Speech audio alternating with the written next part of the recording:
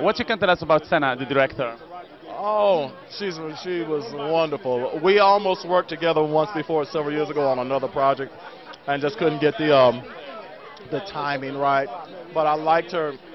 I liked her energy. I knew she had come out of the, the video world and stuff, but uh, I thought she had a great vision in terms of what she wanted for this film.